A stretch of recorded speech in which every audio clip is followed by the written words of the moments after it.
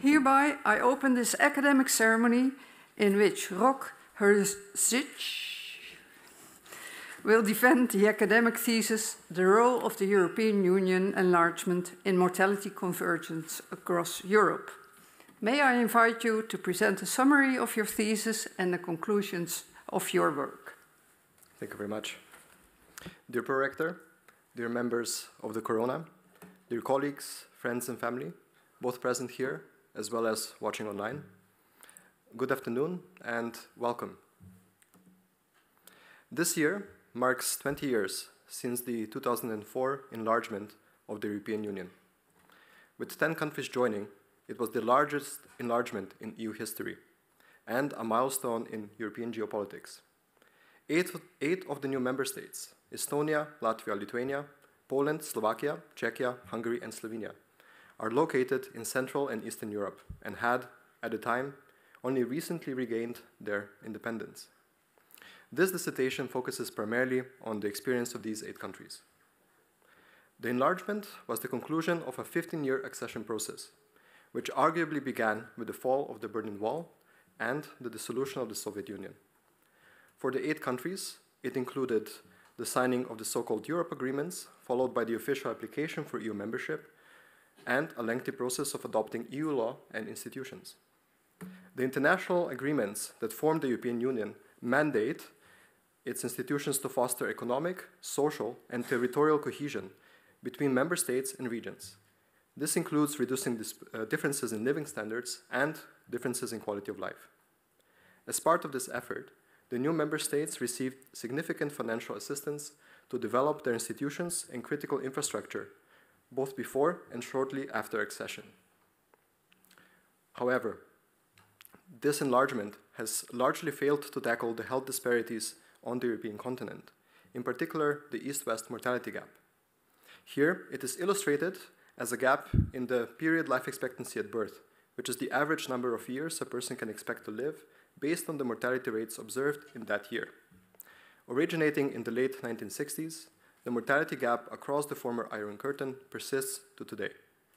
While all countries in the enlarged EU enjoyed increases in life expectancy, the gap between life expectancy in the established, here illustrated in blue, and new member states, illustrated in red, has largely remained the same over the past three decades. This is astounding, given the political and economic integration these countries participated in and the resources that have been expended. And as somebody born and raised in one of the new member states, it also feels fundamentally unjust. The persistent mortality gap thus presents a very interesting scientific challenge, and considering the EU's mandate for territorial cohesion, also an urgent political problem. The good news is, is that learning from past examples, including reunified Germany illustrated on this slide, we know that mortality gaps can close in response to political and economic integration. We call this process mortality convergence. French demographers Jacques Vallin and France Meslé hypothesized that mortality gaps emerge when some populations, the vanguards or the frontrunners, embrace certain innovations that help them reduce mortality while other populations, the laggards, fail to do so. These mortality gaps then close when laggards catch up in adopting these mortality relevant innovations. Examples of these innovations include new medical procedures, better health screening programs, as well as more rigorous public health legislation, for example, laws limiting smoking or alcohol consumption. However, mortality divergence convergence theory remains unclear about the underlying process of the emergence and spread of these innovations, and as such, does not explain the role of supranational, supranational events like EU enlargements, nor the role of national and regional contexts as they interact with supranational dimensions. Based on these empirical and theoretical challenges, I set out to investigate the role of the 2004 enlargement in mortality divergence convergence and the post-2004 EU, as well as formulated these two specific research questions written on this slide. Before addressing the research questions, however, I had to do my homework. I developed a theoretical framework and approach to measuring mortality convergence in the EU and reviewed the previous literature on the topic. Then, I addressed the first research question by estimating the direct effect of the 2004 EU enlargement on mortality convergence across the continent. Finally, I addressed the second research question by exploring the mechanisms underlying mortality convergence and finally, exploring a potential policy intervention that could speed it up in the EU context. Throughout the dissertation, I used a variety of sources um, of data and analytical approaches, but I focus mainly on developing statistical models. Now, studying mortality patterns reminded me a little of icebergs. We can clearly see the mortality gaps, but it's hard to know what's happening underneath. Mortality divergence convergence theory is the central tool that we currently have for describing the evolution of mortality gaps, but I also alluded to some of its limitations. To fill these gaps, I sought insight from other, uh, other areas of social science. First, I learned from policy transfer scholars. They identified the various mechanisms through which policy ideas and other innovations spread between different countries, and which of these mechanisms were particularly relevant in the context of the 2004 EU enlargement. Second, I turned to insights from social epidemiologists and health geographers who had been introducing complex systems thinking into their disciplines. They developed ways of describing and studying the way population health and uh, mortality conditions are generated as a result of complex interactions between populations and their natural and social environments.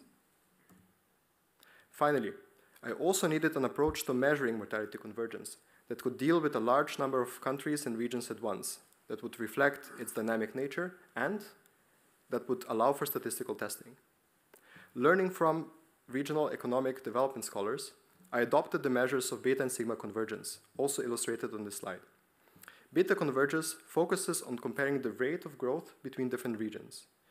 If the regions with initially poor performance improve faster than regions with initially better performance, the stage is set for convergence. Sigma convergence, on the other hand, focuses on changes in the distribution in performance, its dispersion over time. This can be measured by range or variance or other more complex measures of inequality that all have different characteristics and pros and cons. With these theoretical tools in hand, I embarked on a systematic review of the literature. I included studies that examined geographic differences in mortality, that used either beta or sigma convergence measures, and that focused on the European Union. Generally, past studies found that regions and member states with initially poorer conditions improved faster than those with initially better mortality conditions. But there was little overall uh, reduction in overall geographic differences in mortality across the EU. And some studies even indicated a widening of these uh, differences. Overall, there was a lack of a uniform approach to both measuring and conceptualizing mortality convergence. Most studies did also not delve into the mechanisms or determinants of mortality convergence, opting instead for a purely descriptive approach. Most importantly, the question of whether EU enlargements speed up mortality convergence or not remained unanswered. So, I filled this gap in knowledge with my next paper. I used publicly available mortality data from, EU, uh, from the EU Statistics Office, Eurostat, and the statistics offices of member states. I set up the study as an interrupted time series analysis and used a joinpoint regression as the main modeling approach. The way this analysis works is by following three steps. Each step being an increasing abstraction of the trends in life expectancy and an emerging clearer picture of the process of mortality convergence or divergence.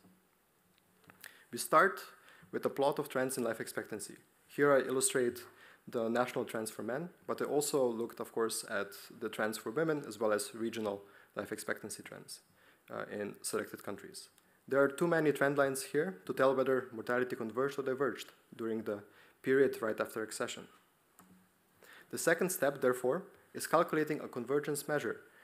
Here I illustrate unweighted variance that gives us a better indication of whether there may be convergence over time. And finally, I had to perform a statistical test of this trend, and I looked at the timing of where the train invariance changed, including the uncertainty intervals, and whether these changes fall into the critical period right after accession. Across the various analyses, I did not detect any direct impacts of the 2004 enlargement on mortality convergence across the EU. Based on the theoretical framework I developed, I speculated that three mechanisms might be behind this result. First, most changes to the socioeconomic environment and policies, things that would usually influence mortality conditions, already occurred before the official accession in 2004. Second, social welfare and health policies, being outside the EU mandate, were largely excluded during the accession. And third, there may be important differences between regions and over time in any mortality effects of EU enlargement, and an interrupted time series analysis would simply not detect those. Now, to test some of these ideas and theories and hypotheses, I examined district mortality trajectories in reunified Germany, which is the paradigmatic example of successful mortality convergence on this continent. Here, I was not primarily interested in the overall pattern of mortality convergence, but rather I wanted to highlight the role of individual districts as well as district characteristics in this process. I focused on districts because they provide, in my view, an interesting balance between diversity in socioeconomic conditions and they allowed me to maintain a stable frame regarding history, culture, and major policies of the federal states. I used data from the German, from the German regional mortality databases and because districts can have small populations, I had to fill a few uh, data gaps. I filled those with uh, the use of a novel Bayesian relational model. Then I categorized the district uh, mortality trajectories into four groups based on their relationship to the national average life expectancy. The first group were districts that were falling ever further behind the national average. Second were districts that were behind but managing to catch up. The third group were districts that were ahead of the national average but losing that advantage. And fourth, there were districts that were increasingly pulling ahead. And this is also in order of the way that they're illustrated on this slide. To my surprise, I found a lot of variation in district mortality trajectories, even within the same federal states. This indicated that interesting district specific stories were unfolding and that the process of convergence was more spatially complex than previously anticipated. For example, in the post-industrial area around the River Ruhr, I found districts across all four different mortality trajectory groups, despite them being neighbors and having a shared history and a shared set of regulations. Of course, I examined whether a district belonging to a particular mortality trajectory group depended on its socioeconomic characteristics, and compared to districts with a mortality disadvantage, those with a mortality advantage had less long-term unemployment and higher taxable income throughout the study period. Illustrated here as the significant results. Finally, regional and national contexts shape mortality through shaping the experience and health of individuals. So, for the last paper, I took another page out of the German unification playbook. Improved pension incomes of East German pensioners were considered a critical event in achieving mortality convergence after unification. There were other factors, but this one is considered critical. I wondered what impact a similar policy could have had um, in the context of an enlarged EU. Therefore, I examined an idea called the EU-wide minimum pension policy. Unfortunately, the available data does not allow me to test this question or to answer this question directly. I therefore designed a, um, a, slightly different approach called a scenario analysis. Instead of estimating the policy's direct effects, this approach assumes a protective effect of improving living standards based on uh, previous literature, especially in those with very low pension incomes. I then used this assumption to simulate what the best case scenario impact of this policy would have been on the East-West mortality gap compared to the current situation. The graph here shows life expectancy at 65 for four new member states compared to the established EU countries. Focusing on the example of Estonian men, it highlights the life expectancy gap as it currently is and under the scenario. And the results of the overall analysis show that under the assumptions of this study, an EU-wide minimum pension could have reduced the East-West mortality gap by a modest amount for men while the change was not significant for women, indicating that the policy could have been helpful in closing the currently observed gap. Allow me to conclude. Drawing the line under all of the results that I presented, I found that regional and national contexts currently dominate EU activities when it comes to the pace of mortality convergence across Europe. To make further progress in understanding the mechanisms of mortality convergence, we need more quality data about the socioeconomic and health behavior characteristics of individuals, and we need to be able to link them with the characteristics of the places in which they reside. This would enable studies that examine how, how mortality develops over time in the relation to both individual characteristics as well as community characteristics and place characteristics. Simulation studies can provide further insights in the meantime and need to serve as a stopgap measure. The more comprehensive and holistic approach to measuring mortality convergence that I developed in chapters 3 and 4 will support future monitoring of spatial health and mortality inequalities and hopefully be picked up to be used for more effective decision making. Now, finally, evidence in chapters 4 and 5 suggests that EU programs guaranteeing more equal living standards could be relevant for fulfilling the aims of territorial cohesion. Individuals and communities having enough resources seems to be critical for their ability to implement mortality relevant innovations that enable um, progress. Accomplishing this may mean a, an expanded EU mandate in social welfare and health policy, new EU legislation on these topics, and likely more financial support for new member states and candidate countries. The key question, of course, is whether we are ready to pay the price for greater health equity across the European Union. Thank you very much for your time and attention, and I give the word back to the prorector. Thank you very much for your presentation. We will now start with the opposition, and the opposition will be opened by the chair of the assessment committee, Professor Paulus, professor of economics of education and healthcare at Maastricht University. Thank you, Prorector. Dear candidate, let me start by thanking you for your dissertation. It was a joy to read, it was interesting, sometimes challenging, but also very impressive. So I would like to congratulate you and your supervisory team with this achievement. As you can imagine, of course, while reading the dissertation, also some questions arose. And I would like to start with some questions related to chapter two. And you also nicely presented that you had to do some homework. So you, one of the things you did was starting with a literature review. Now, I want to start with a very short question. Eh? We know that there are all kinds of literature reviews, from systematic to scoping, from integrative to realist reviews. You opted for a systematic literature review. Could you just indicate why, of all of these different types of reviews? Was this the most suitable one? And if so, why? Highly esteemed opponent, first of all, thank you very much for your very kind words. Um, and thank you very much for your question as well. I opted for a systematic literature review because I did want to present um, the readers, and in the process of the project, I also needed information on just the overall situation of knowledge um, regarding mortality convergence. I initially even endeavored to um, pursue a meta-analysis or a meta-regression. Mm -hmm. However, given the methodological heterogeneity that I alluded to and that uh, I describe in the discussion, mm-hmm. um, this was simply not possible. I could have considered um, other approaches as well. For example, a scoping review might be an interesting endeavor in this, uh, in this mm-hmm. regard. Um, however, I felt that having as rigorous uh, as possible approach to both the search as well as the synthesis of the results was uh, the best step to be taken in at, at the moment. Yeah. And I assume that you then choosing, uh, let's say, a systematic review, that you also try to apply all of the guidelines that are present for systematic reviews. Um, did you follow those guidelines, or can you say something about that?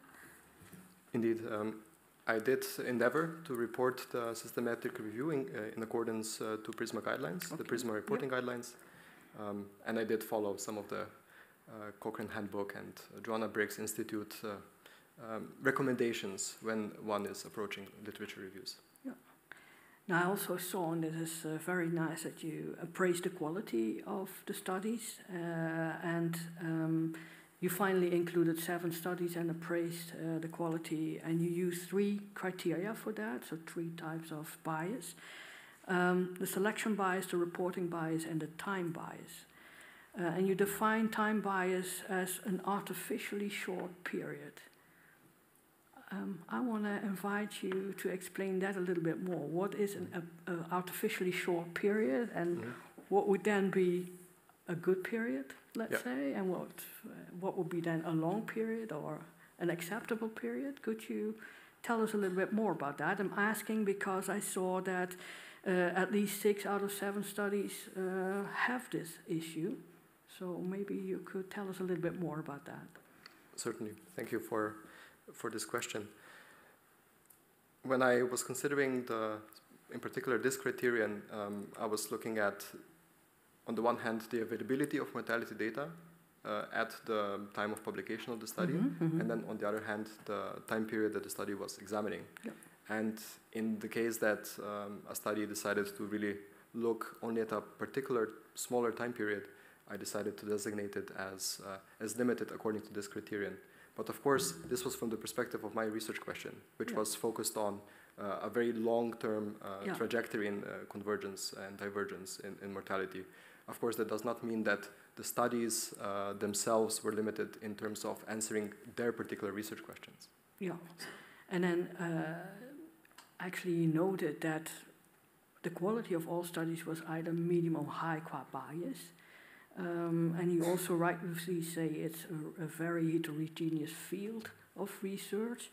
Um, so uh, I was wondering uh, if you had to do this review again, would you approach it differently also given all these biases and the quality of these studies?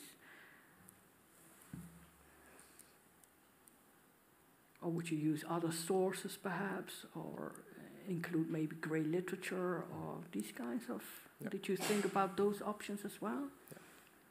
With the benefit of hindsight, um, I mean, I would answer this in two parts, uh, okay. if I may. Yeah, um, sure. I think, according to the research question that I was attempting to answer, I think the approach that I took was the appropriate one. Mm -hmm. um, however, if I was looking to perhaps provide um, a really expensive overview without any attempt to synthesize the results themselves in, a, in any kind of quantitative or qualitative mm way, perhaps a scoping review would have been better. Um, I did endeavor to include as much grey literature as possible. Uh, I did include some uh, EU reports, for example, yeah. which were not otherwise published as scientific papers. Um, however, there are also other studies, especially studies at the national level, that looked at uh, regional convergence within particular countries. And I think uh, revisiting this literature review um, now at the 20th uh, anniversary of the enlargement might be uh, an interesting endeavor. Uh, perhaps with a slightly uh, larger team, th is, this is, could be something that uh, we could accomplish. Yeah, well, thank you for that reflection. Um, I would also like to discuss with you, looking at the topic also on, on this slide. Um, talking about divergence and convergence uh, between different countries. Now we know that there are a lot of migration flows between countries, and I was wondering how do they impact this type of research, and what does this imply for migration policies if we look at the results of your studies? Thank you very much. Reflect on that. Yeah, yeah, thank you very much for this question. I, I, think this is this is really a fundamental question when yeah. it comes to uh, cross-national comparisons of mortality rates or mortality indicators, uh, especially over broad periods of time and across uh, the continent. We know that the enlargement was uh, to some extent uh, accompanied by a large flow of uh, migrants from east to west. I think the, the latest um, estimates that I saw put, it, put this at about three and a half million, million persons. Okay. Yeah. Um, so, of course, this is, this is an important circumstance that has to be taken into account. Um, now, again, there's a, there's a two-part answer to this. Uh, the first part that I, I would say is that in all of the studies, I had to rely, or I did rely on the national estimates um, that were available to me at the time, as well as regional estimates. Now, these might be biased or not. However, given the limited, um, um let's say, the incomplete registration of uh, migration, um, there might be some bias inherent in those. However, I would um, hasten to add that most of these migrants tended to be relatively young, 18 to 30, mm -hmm. uh, mm-hmm. usually in um, you know prime working age uh, persons who, um, given uh, our focus on life expectancy at birth or life expectancy at 65, would not have contributed so much uh, to the to the count of uh, deaths or skew our uh, overall results. There, there are some studies, for example, uh, looking at um, migration flows and their impact on life expectancy in, in Germany, mm -hmm. also accounting for east-west migration flows, and they found errors of, of about 0.5 to 1 year of life expectancy. And given given the, the trends that we're observing here, of course, this would change them somewhat, but it would not invalidate the overall conclusions of the studies. Thank you very much. Um, well, given time, I think I'll give the word back to the pro-rector. Thank you for your answers. Thank you very much, Professor Paulus. Uh, the opposition will be continued by Professor Van Wissen, also a member of the assessment committee. He's professor of economic demography at the University of Groningen.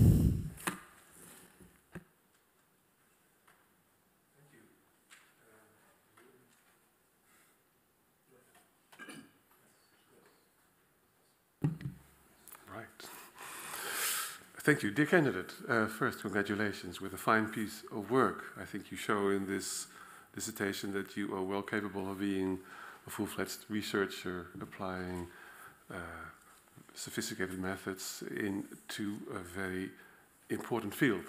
Uh, I think, yeah, differences in, in health and, and mortality, life expectancy, are among the most fundamental differences and inequalities among mankind, I think. So it's very, very well that this is addressed and also taking into account the role of the European Union uh, in that. Um, having said that, I have a few questions and remarks that I hope we will exchange some ideas in the coming minutes. And my, my first question is about the significance of the year 2004 uh, indeed, that's the year when the countries that you studied uh, uh, entered the European Union. As you conclude, there is a significant, well, there is convergence already since since the 90s, uh, taking into account the first years after uh, the, the, big transformation and in the 80s, well, but, but since the middle of the 90s, something happens indeed in the right direction. But there is no clear break in the time trend in 2004. And this is to a large extent, as you explain yourself well, um, by the fact that many pre accession steps were already in place, uh, anticipating what would be happening and leading to convergence already long before that. Um, and I think if you look at the pictures, you also showed that here, uh, it, it, it looks clear. But in order to test that assumption formally, you would need the evidence of a control group, I would say. Uh, and that would be a group of, say, Eastern European countries that did not enter the EU European Union, uh, such as Russia, Ukraine. Well, it's very funny in a sense to mention these two countries now in the same group, but anyway, also Georgia or maybe a couple of other countries. And then my question uh, have you considered such a research plan? And if yes, why have you not implemented that? Highly esteemed opponent, Thank you very much for the congratulations and the questions that you presented. I agree with you that um, the significance of 2004 as a particular breaking point um, is a choice. It was a methodological, methodological choice that uh, I pursued. Um, the reason why I decided for this particular approach, using interrupted time series analysis and really looking at the period 2004 until 2007, as, uh, as part of the statistical methodology was because uh, there's, there, there is, a, of course, an intensification of EU programs after accession. Naturally, as you rightly point out, there was a lot of activities and a lot of changes in the um, then candidate countries and then new member states. Also, during the pre-accession period, there's uh, no doubt about that. Um, lots of political changes, economic changes, of course, changes in policy. Um, but I was particularly interested in does the, uh, does the intensified access to both cohesion funds as well as the intensified access to uh, various uh, expert fora, you know, more, more intensified uh, um, collaboration with established member states, does this by itself really have a significant uh, effect? Um, on the other hand, it was to some extent a pragmatic choice, and uh, I completely acquiesce to this. Um, now, the question of doing a controlled interrupted time series analysis using uh, Russia, Ukraine, Belarus, perhaps Georgia, other countries as uh, control, uh, control subjects is a very interesting idea. Um, however, at the, at the time of designing the study, I decided against it uh, because of the question of self-selection. Um, I did not necessarily feel that these other countries would really function uh, very, very well as uh, control um, uh, as control units for the countries that I was looking at. Um, now, an alternative to this approach might have been um, creating synthetic controls, for example, from the experience of, of these other countries. However, um, this is an approach I have yet to, to master and uh, perhaps is something to uh, explore in the future. Okay. Yeah, well, well point, well taken indeed. Uh, but, but, but, but still, I mean, upon first reading, uh, you, you, you, might get the impression that, that it is sort of a negative conclusion, sort of EU accession didn't mean anything. But, but lots of implicit or explicit things might have happened already. So it might not be as bleak as you point out, in a sense. Sort of, uh, so that, that, that's sort of the side effect of, of your approach, in a sense. Yeah. yeah. But no, I, I agree that, that this, this, this, this, this control group has some problems, uh, indeed, if you would have used it, yeah, for sure. Okay, well, continuing my small list of issues that I have in front of me, um, in the first chapter, you give a nice overview of the issues around mortality convergence and also explained in your introduction today.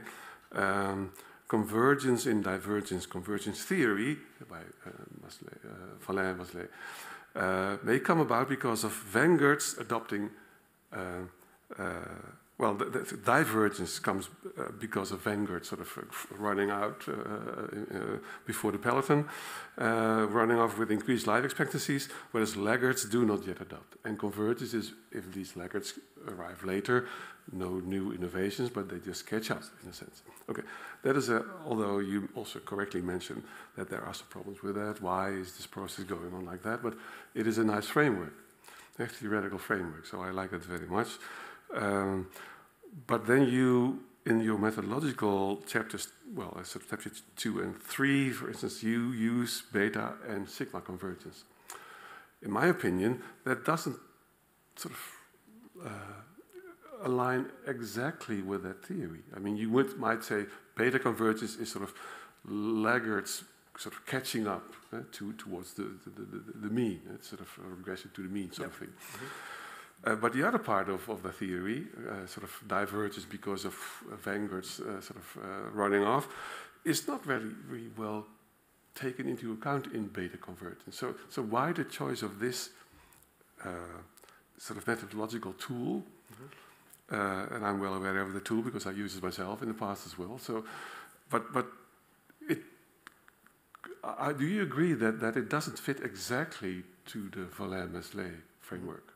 And uh, what could be done about it? Thank you very much for, for this question. Um, I agree that there is work to be done on operationalizing the theoretical framework uh, that, that I presented. Um, I would argue that the beta and sigma convergence approaches are very helpful pragmatic tools that we have in, in this regard, uh, especially if they're taken together. Uh, and this is something that I uh, made pains to emphasize throughout the dissertation, that uh, focusing only on beta convergence on, on, or only on sigma convergence is simply insufficient to presenting us a holistic picture of what is happening in terms of mortality differences uh, over time. and uh, therefore, beta convergence indeed perhaps emphasizes the experience of laggards, and it gives us a, a glimpse into what can be expected in the future. And perhaps uh, if it does indicate, the analysis does indicate con uh, beta convergence, the stage is only set for convergence itself. And that is why it's so critical to also have the sigma convergence perspective in there to see whether the differences are indeed getting smaller or not. Because beta convergence by itself um, is an interesting tool, it's a useful tool, but it's an incomplete tool. But uh, allow me to also comment on where I feel uh, the uh, future improvements could, could come in. Um, I would say um, we could emphasize a bit more uh, the specific mortality relevant innovation story that uh, the demographer, that the two demographers have been emphasizing, and perhaps try to model or at least uh, explore or quantify the process of implementation a, a bit more or describe it uh, numerically somehow. Um, and I think uh, there are ample opportunities uh, from, from findings in implementation science, etc., that would allow us to couple this right? I, I think we, we need to find a way of merging the macro level perspective with the micro level or even the meso institutional level perspective here to really give us a holistic representation of what is uh, what is happening.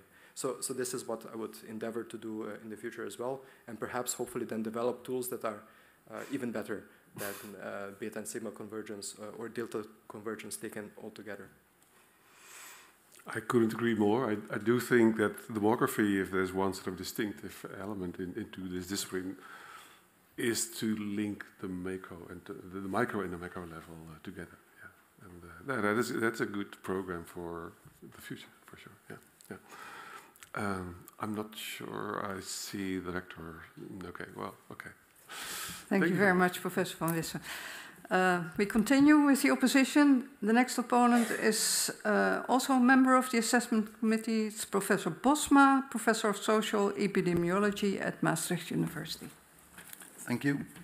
Uh, dear candidate, let me first congratulate you with this uh, accomplishment. And in this praise, I also like to include your uh, team of uh, supervisors. I think your work is innovative, both content-wise and methodologically. Uh, it's, uh, but at, at, the same time, the findings are in a certain way disappointing. Uh, in the sense that it appears difficult to find convergence between the different countries in, after the EU enlargement. And the Eastern and Central European countries keep lagging behind uh, and keep having higher mortality statistics. It, it appears not much different from the time when I was uh, looking at the same uh, things, uh, but then a longer time ago in the 1990s. So not much has changed, and the EU apparently does not, did not help. Um, so you bring very convincing evidence how difficult it is to change uh, certain population uh, statistics and population health. Uh, but of course, I also have some questions. Uh, you look at sex differences uh, when you compare the countries, uh, and it is not further elaborated why you look particularly at the differences between men and women. And one of the things that I immediately missed, I thought, well, if he looks at the differences between men and women, it might, in a certain way, I would say, also look at socio-economic differences. And might there be uh, one of the questions could, for example, be uh, would the EU enlargement be more beneficial maybe for the low socioeconomic groups, or would it be more beneficial for the high socioeconomic groups? Uh, to see whether maybe the major socioeconomic differences that are larger in life expectancy, that are larger between socioeconomic groups than between men and women, whether the EU enlargement maybe has decreased these inequalities. And so I wondered, uh, why did you not look at these socio-economic differences in health and compare whether, or check whether there is convergence, there is smaller narrowing or something like that in, in, in bad countries? Mm -hmm. Highly esteemed opponent, thank you very much for these, uh, these questions as well as the opening remarks. I really appreciate them. I could not agree with you more. The socioeconomic differences aspect is uh, very interesting, uh, and it's something that I would uh, love to pursue in the future as well. Um, however, in the thesis, I primarily focused on the territorial dimension, on the spatial differences and the spatial dimension. Mm -hmm. Now, of course, by introducing, uh, by, by looking at regional differences and even district level differences, uh, as it did uh, in the case of reunified Germany, it does give us some indication because we do see some level of not agglomeration, but um, let's say um, um, migration is not completely, let's say, blind to socioeconomic status of, uh, of mm-hmm. persons, right? And we see this in, uh, in Eastern Europe quite a bit, where uh, there's simply uh, uh, entire regions, uh, post-industrial regions that used to thrive on, you know, coal production, steel production, etc., that still have sizable populations. Of course, there was a lot mm of outmigration there, but now sort of represent uh, a certain socioeconomic layer, uh, if, if I may uh, speculate to, to some extent in this regard. So, so I do feel um, the, so I do think that the dissertation provides some glimpse into what we could expect if we did socioeconomic uh, comparisons between groups uh, at the socioeconomic level. Um, but of course, it does not address this question directly. Um, I would, I would also but, like to. But, but maybe, maybe I can phrase the question differently. Uh, if one would look at socio-economic differences in health in a country, would you expect the after the EU enlargement that the inequalities in health in, a, in the countries that uh, were added to the EU, whether they decreased, what would you expect? Would they decrease or would they increase because of the enlargement? Yeah. I currently would have what we would call clinical equipoise in this question because I can, I can see mechanisms that would uh, cause inequalities to increase. For example, capital regions tend to be more plugged into the globalized, liberalized economy. I, I feel it's easier for them to gain advantages. Um, I mean, the current economy is really uh, um, some, one that prioritizes uh, persons with higher educational attainment, which tend to also come from uh, families with previously higher education attainment and higher socioeconomic positions. So one could make a case that uh, as uh, we increasingly liberalize our economies, and this is what the EU project has been mm-hmm. uh, largely about, we might see increases in socioeconomic differences. On the other hand, of course, the cohesion program does specifically target uh, regions with uh, lower GDPs, right? I think the cutoff is still 0.75 of the of the average, which tends to really concentrate on most uh, disadvantaged uh, regions uh, in, in the new member states. Mm. Um, so one could expect some benefit uh, to lower socioeconomic groups from, from that address. Mm. Um, so, so, so I, it could bo go both ways. I think it could go both ways. Yeah. So this is why I think it would be very important for us to test this question empirically. Mm -hmm. Yeah, because it, it, it, there is an, another body of evidence showing that uh, inequalities in health are everywhere, mm -hmm. or almost uh, stabilizing or increasing. Yep. So it's widening. So, in that sense, one could say maybe the EU enlargement did not do much, but I do not know so much about the, how that developed in the Eastern and Central European uh, countries. But maybe an, an, additional question is about what I know from multi-level uh, research, is that when I'm always surprised about that, and, and I understand the the uh, the ease of looking at regions or neighborhoods or something like that, instead of at looking at individuals. But if you, in a multi-level analysis, if you uh, do such analysis, you will always find that 95% or more of the variance in the health outcome is, uh, is within a region or is within a neighborhood, and only 5% is between regions or neighborhoods. And maybe on the regional level, it's maybe even more pronounced, it's maybe even more than 90, uh, 95% that uh, the health differences are within, uh, between individuals actually. So the differences between regions are much more smaller than the differences between individuals within a region. That is what I wanted to say. And do you not think it is important to particularly in that indeed add the micro level and also the, the individuals to your analysis? Might looking at the regions not be, yeah, not maybe neglecting somehow also the people who are in poor conditions, living accidentally in richer areas or richer regions or something like that. If one would only focus on the poor areas. Mm -hmm. So, the, so what do you think? Would it not be necessary to include the individual level? Thank you, thank you very much for this uh, for, for this elaboration. I, I completely agree with you, and this is something that I would really love to do.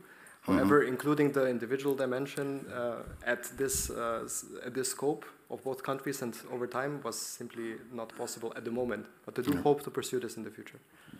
Good to hear. Thank you. Thank you, Professor Bosma. Um, the next opponent is also a member of the assessment committee, Dr. Ebeling, epidemiologist from the Max Planck Institute, Rostock, in Germany. Uh, thank you, Prorector. let me also uh, use the chance to congratulate you and also your collaborators for this fine piece of work. Um, I think your thesis um, shows very careful research work that uh, could serve to upcoming PhD student as an example how one, you know, does scientific work, and I think it also has a very high level of critical thinking, uh, which I find very impressive. So, congratulate you. You yourself have shown in your presentation here and also um, in, in your thesis yourself, you discuss all the time these mechanisms. And here you have shown the iceberg, and that we just see the peak of the iceberg. And um, when I think of death, I think death is the peak of the iceberg. And usually a death follows uh, a certain individual di disease history. Persons have diseases and more diseases, and at some point, too many diseases, and they die. And um, you and your concept and framing, one of the central arguments that you have is that there are mortality relevant in innovations, as you call them. So I would like to hear a few concrete examples from you how the European Union enlargement, which specific innovations would bring this enlargement in order to interact with the individual disease histories to generate um, some sort of mortality improvement. Esteemed opponent, thank you very much for your kind words and thank you very much for, for these questions. I agree that not only the individual dimension, but also the life course dimension, um, including the morbidity dimension, or perhaps more attainably the cause, cause of death dimension, would be all very interesting expansions uh, of, the, uh, of the body of work I presented uh, today. Um, I think uh, pertaining specifically to your, uh, to your question, what mechanisms of enlargement could really help us uh, bridge the gap? I think it's important for us to reflect on the fact that uh, a large part of the current gap is determined by uh, cardiovascular disease mortality. Um, so, so, I think that's one component. Uh, knowing what we know about um, socioeconomic determinants of cardiovascular mortality, but also um, the specific uh, medical interventions that could uh, help us intervene in the process. Um, I think overall the European Union could can play a role in this in this regard, right? Because the European Union uh, creates uh, space for expert uh, fora. So that would be what I would imagine um, a mechanism that speeds up the diffusion of specific innovations. Um, on the other hand, the European Union at least aims to pursue territorial cohesion. That means uh, increasing the resources, not, not just in, in this kind of um, disembodied GDP sense, but you know, uh, looking at what this uh, actually means, it probably means new hospitals, better hospitals, perhaps better access to healthcare, uh, these kind of things. But I, um, I'm afraid I can't give you a completely satisfactory uh, explanation here, right? Because I think that dimension of um, uh, between EU enlargement, policy transfer, so this link I made, but between policy transfer and then specific implementation on the ground, um, I think this is something that still needs to be made to some extent. Okay. But I hopefully indicated a couple of ideas uh, for you. Yes, thanks. But I'm still trying to find the positive thing in your perhaps disappointing finding. And uh, in this respect, um, I was wondering maybe you agree or not, that maybe life expectancy is not the right measure to do that. Life expectancy is, is a quite big measure. It's a summary measure that takes all death rates into account that the population sees at a certain time point. And, and so we might lose the nuance and maybe miss the, the small good things that the EU enlargement have done. So would you think that your conclusions might change if we would study different health outcomes or just you know, minor parts of the um, age-specific mortality trajectory? Thank you for this, uh, for this reflection. Uh, if I may, I would answer it in sort of two points.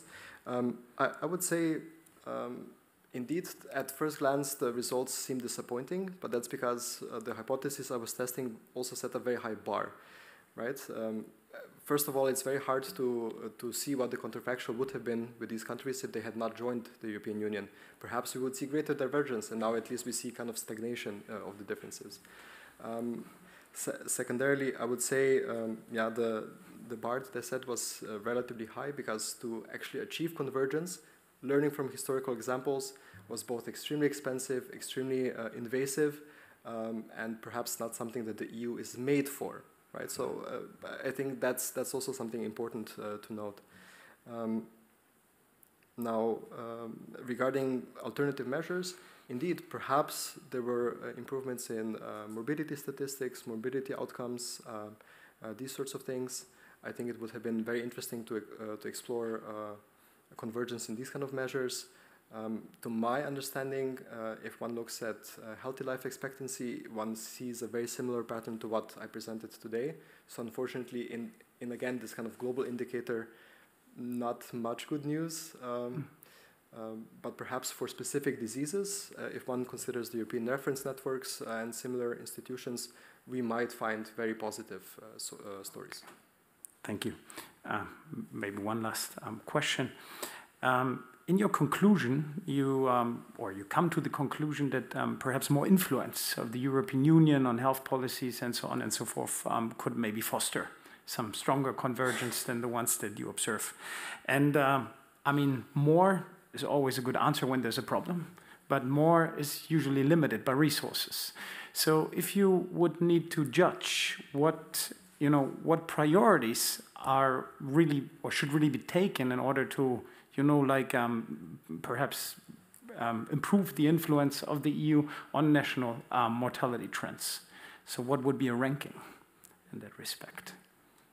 Thank you very much. I also uh, I also thought about this question quite a bit. Um, I do feel that the European Union, with, the, with its current emphasis uh, in the post-COVID era on uh, uh, health system resilience, is making the right steps and targeting the right aspects. I feel of uh, of health systems, uh, because what the COVID experience does show us is that again, most of the downturn in life expectancy was concentrated in the new member states. Right? So it does tell us something about the resiliency and the capacity of their health systems to really respond to these novel challenges. And again, it just goes to show um, that there's still uh, a lot to be done there. So first of all, I would hope for more investment in health resilience. Um, but on the other hand, I think there's only so much that we can do with limited investment. If we compare the investment per person um, associated with the 2004 enlargement, with the German reunification, the factor uh, is 100 times bigger, right? So the cost of German reunification uh, and the investment of West Germany into the east per person is 100 times larger than what we see uh, during mm. during the EU enlargement, right? So, I mean, we can see some uh, improvements in terms of targeting, etc. But at the end of the day, with 1% of the effort, it's hard to achieve the, a similar result, I feel. Okay, thank you. I think that's a discussion that could go on for a long night. With this, I give the word back to the prorector. Thank you. Thank you, Dr. Ebeling. Uh, then uh, we come to the final opponent. It's Professor Curvers, Professor of Demographic Transition, Human Capital and Employment at Maastricht University. Thank you. Um, dear candidate, um, Congratulations on your very interesting book on mortality conversions in Europe, or should I say, lack of mortality conversion within the European Union. At least um, the cover color of the book is in EU blue, which I really like, um, but which is in contrast a bit with your picture of gravestones. Um, your statistical analysis are very thorough, going deep into different forms of convergence between the old and new uh, EU member states. Despite your thorough uh, analysis, I have some uh, issues to raise. In fact, I'm a bit surprised by your analysis because I would ex have expected mortality rates to have fallen more in the new compared to the old uh, countries. Perhaps your thesis would have gained even more social relevance if you had analyzed more thoroughly the reasons why this did not happen.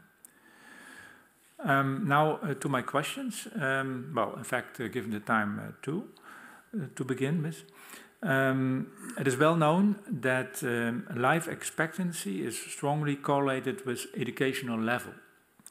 I do not see this variable in your analysis.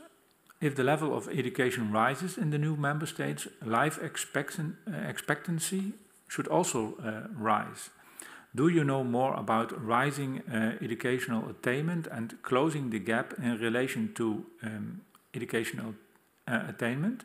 And to what extent this may lead to a declining gap between um, uh, yeah, the old and the new member states regarding mortality rates in the future? That's my first question. Highly esteemed opponent, thank you very much for, for this question and your reflection at the very beginning.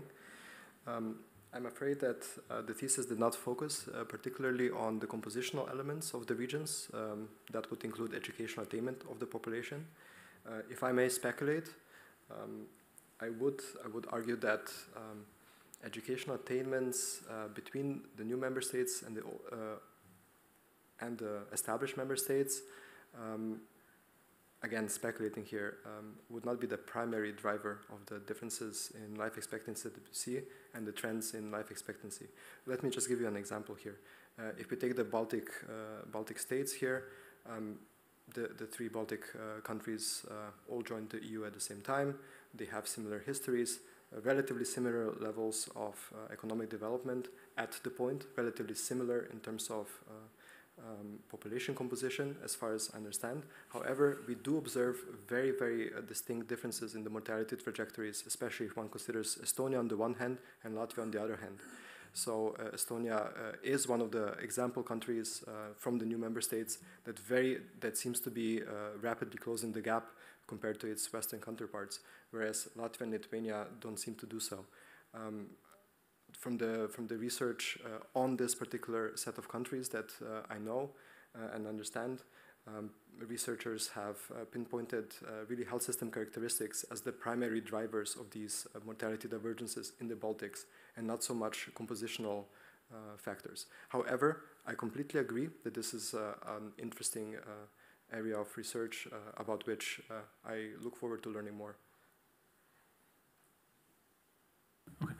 My, my second question is about um, um, about. Uh, I wonder how life expectancy at birth is calculated. Uh, there's a yeah, most important variable for you in the thesis, but uh, do you know more about infant mortality um, among newborns? Um, have you looked at mortality rates of different ages? Because I would particularly expect a rapid decline in mortality rates for very young people rather than for old ones if, for example, hospital uh, healthcare improves? Thank you very much for this question as well. Um, my analysis did not focus on age differences uh, in terms of mortality convergence and divergence. I rather focused on life expectancy, as you rightly noted, uh, life expectancy at birth, as you rightly noted. Uh, from what I understand uh, in, in, the literature, um, the current gaps uh, are dominated by, uh, by differences in mortality at older ages, particularly older ages due to cardiovascular disease, but increasingly so due to uh, mortality uh, uh, due to cancer. Um, my understanding of the literature is that um, the gaps in infant mortality rates have largely uh, been closed by, by the mid 90s or so, um, which indeed presents us with an interesting problem why are then we still seeing uh, these gaps and uh, how is it that hospital systems and hospital infrastructures still um, uh, still seem to play such a crucial role uh, in the current gap that we're that we're seeing. Um, I think there might be a couple of hypotheses that merit investigation here. Um, one question would be to what extent have the new member states managed to create uh, good systems of integrated care, which means do we capture uh, do we capture people at risk of cardiovascular disease and do we take them through the necessary steps throughout the system to really prevent uh, exacerbation of disease and then finally the worst exacerbation, which is death.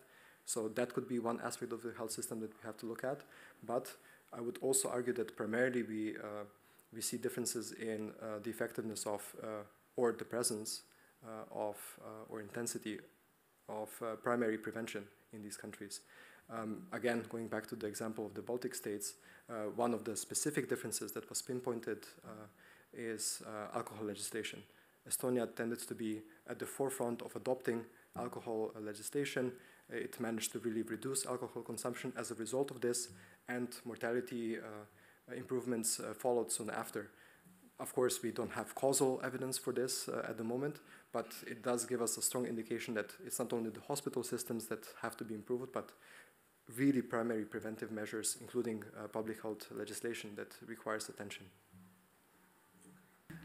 Thank you for your very uh, interesting answer. Then I have a last question uh, before the Beadle comes. It is, um, um, I'm curious about fertility rates in the new accession countries. I've done a quick analysis and it seems that um, these have increased for many new member states between 2001 and 2011, unlike the old member states. So there seems to be convergence at first glance in uh, fertility, fertility rates. Often fertility rates follow death rates in demographic transitions. Do you think the analysis of fertility rates could be useful in relation to the accession of the new member states? Thank you very much for this question. I, I do feel this is a, this is a very interesting um, area of investigation. Um, somewhat morbidly, I focus on mortality and the end of life. However, um, I'm convinced that there's very interesting uh, work to be done looking at convergence and divergence also at, at the beginning of life. Um, however, in, in, in this regard, um, it, it, does beg the question whether the traditional model of uh, demographic transition um, is uh, still relevant uh, here at the moment. Perhaps it could be that, um, as some uh, of the recent literature uh, indicates, If you want to finish your answer shortly, yeah. you can do it. Thank you very much. Um, so some current literature does suggest that uh, there are various patterns of the, the of the demographic transition, uh, not only across continents but also across subcontinents and countries. So perhaps we are seeing a more complex picture here than what was normally expected or normally observed. Thank you. Horst. I repeat it. Uh, Hrzic, the time appointed for defending your thesis has passed. The degree committee will now withdraw to discuss the quality of your thesis and your defense. I request that you and your company await the results of our deliberations and our return in this room.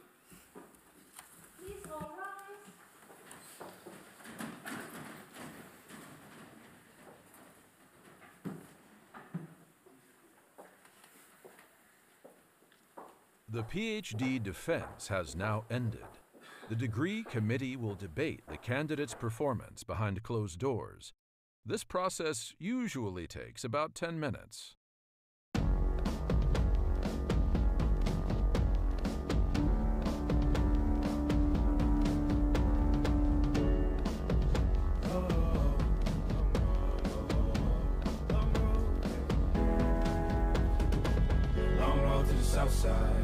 Ten miles in my rearview mirror, I know what it felt like. My goals only getting clearer, east side to the west side.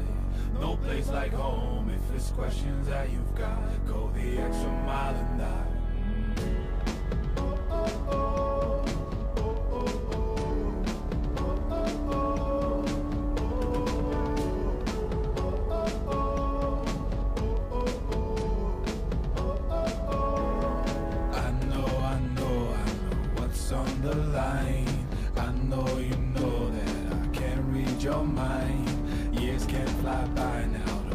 die. time. Cause I'll go, I'll go, I'll go the extra mile. Long road to the south side. Ten miles in my rearview mirror. I know what it felt like. My goals only getting clearer. East side to the west side. No place like home. If it's questions that you've got Go the extra mile and die on the dash, got my laces tied. Long road, I don't waste no time. Break rules because fate decides. With the team and we chase the light. I make a move, fall down, shake it off. I hate to lose bad branch, break it off. No room for negativity, praise and love. Prepare for deep part cause we're taking off. Hit the mileage, traveling so far from home, gathering knowledge, other connections. I put the time in to get everything I ever hoped for. It's a challenge and we all in. It's a better future that we mm. go for. Even though these nights seem long, I know that I am never on my own. Know you won the battle once you've.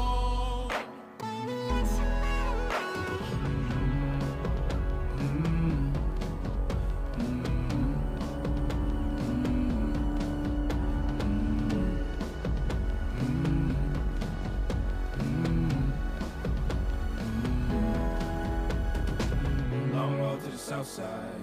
Ten miles in my rearview mirror, I know what it felt like. My goals only getting clearer, east side to the west side. No place like home if it's questions that you've got. Go the extra mile and die. Mm, Long road to the south side. Ten miles in my rearview mirror, I know what it felt like. My goals only getting clearer, east side to the west side. No place like home if it's questions that you've got. Go the extra mile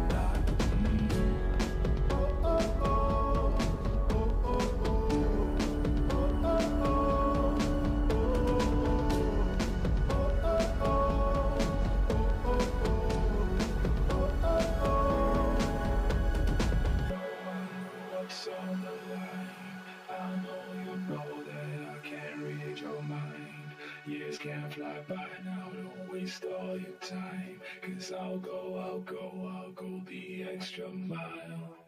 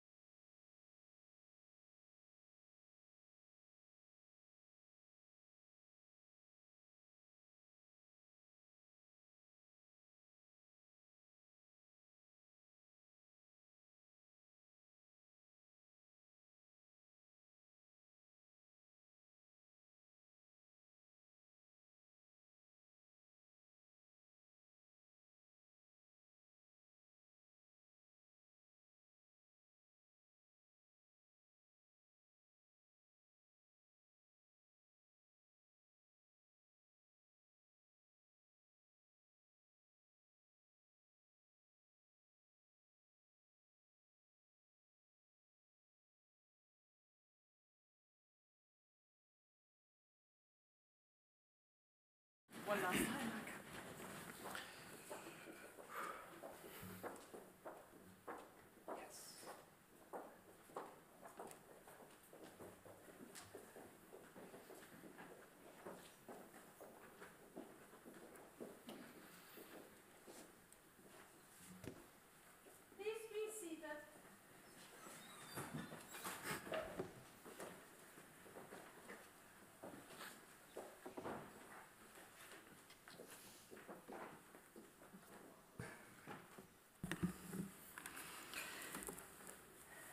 Rok The degree committee here present has assessed the quality of your thesis and your defense.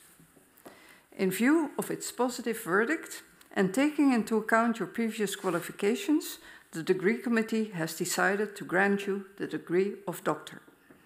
Professor Brand is authorized to, confirm, to confer upon you this academic distinction in accordance with Dutch university custom. I invite your supervisor to now take the floor. Please all rise. First, I have to take an oath. Do you promise to work in accordance with the principles of scientific integrity at all times? To be careful and honest, transparent, independent, and responsible? Yes, I promise.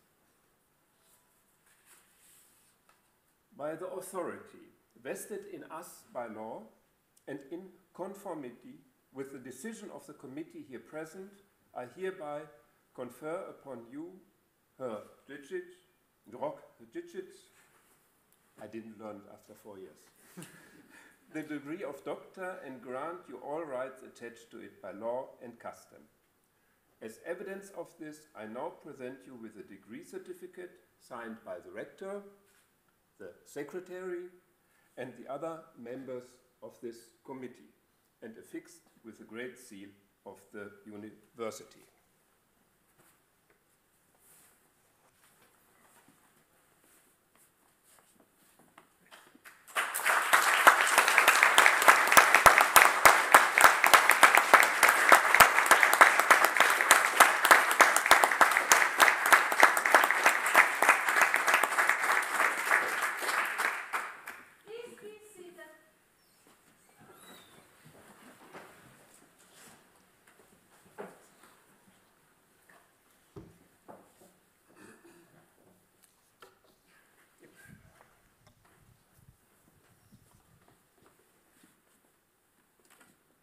Dear Dr. Rok, as the students will call you from now on, because they have the same problem with the family as name as I have. congratulations to your PhD, but especially congratulations to your family. I think that were some years where it's always the question in the dinner table, how is the status of the PhD? um, and um, of course, this is not for me alone, but uh, on behalf of the other supervisors, Dr. Timo Clemens from Maastricht University and Dr. Tobias Vogt from Groningen University, we would like to congratulate. Dr. Rok, I think you should do this, have this as a trademark. Yeah, because the students like you very much, your educational record is excellent, and perhaps you will have a YouTube channel with uh, Dr. Rock Explains. so I think there are huge challenges in front of you. Every person is a natural experiment. So that is why medicine is so difficult. And you experience it by yourself, but you manage to turn this around. After your studies, you said, well, why not looking at natural experiments? So, what are influences from ex outside to uh, the people? And the re result was this thesis that we discussed today in a very interesting manner. Uh, and uh, I have asked the committee not to do, give you any job offers for some time because we need you in our team. And I see that looking around, we will have a lot of new natural experiments in the next years to come. So I think Uh, unemployment will not be a question for you, unemployment in the meaning of having new research topics.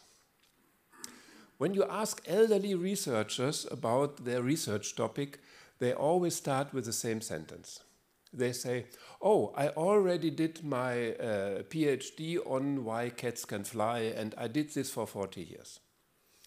Um, so, in a way, we are reluctant to change. On the one hand, I can understand that you are linked to this topic, but uh, let's say, being with you for several years now, I saw that you are one of those people who can look left and right and uh, see the connection between research and policy making. So um, stick to natural experiments, but add to this, add other things to it so that uh, we can, when someone asks you later in 30 years, what is your research topic, you can say, yeah, I started with this and I moved to this and then I had this. So have different tools to do this. You are a highly efficient worker and you are very patient. That's rare. You even listen to my hour long uh, monologues uh, that I gave to you, uh, commenting on your uh, uh, uh, work, and you didn't complain. You were only asking, okay, let's go on. So that is really helpful. You once defined your future interest in the area of political epidemiology, if I remember right. And yes, go for it. Establish this, and some will know what now comes.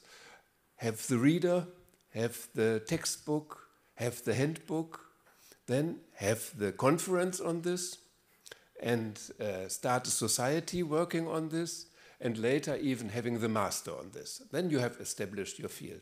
You are, you are uh, young enough to do this. In, uh, we did it here for two areas. It was health reporting and health literacy. We succeeded in 1.5 times in this. Uh, so the chances are quite high, and this should be your way to go. In summary, for all of us, it was a pleasure working with you, and your PhD has really proven that you are a researcher with highly skills and that you are committed to research too. Please make the best out of your talent. And I hope that we can wrap up your thesis altogether by an editorial about 20 years of EU enlargement. Because the, let's say, the underlying, did it fail, did it succeed? Let's wrap it up. I think that's good. And in the end, go, Dr. Rok, go. Thank you.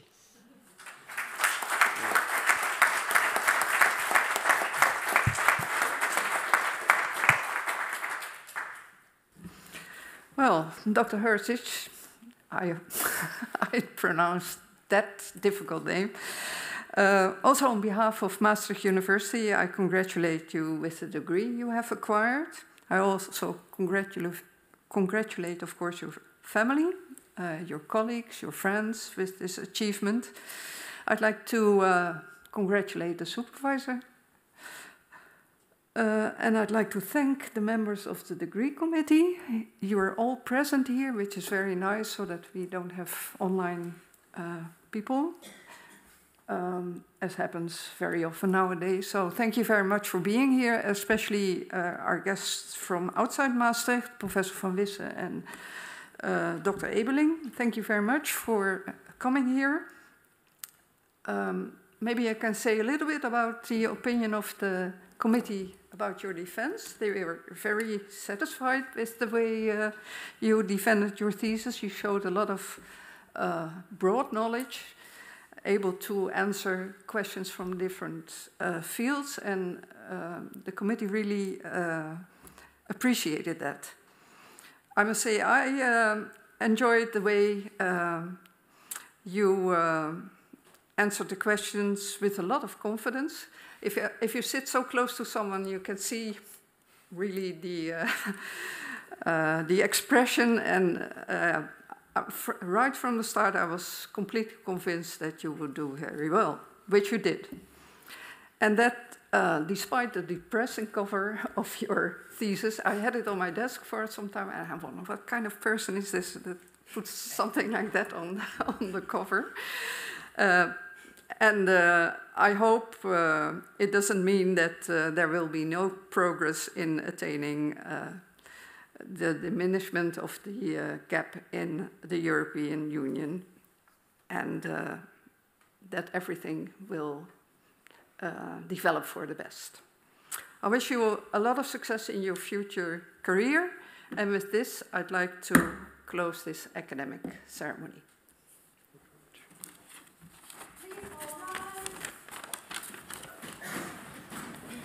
Dr. Rok, please. Candidates, please bring the degree. Supervisors, please join.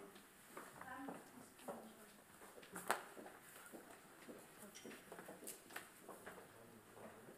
Recording stopped.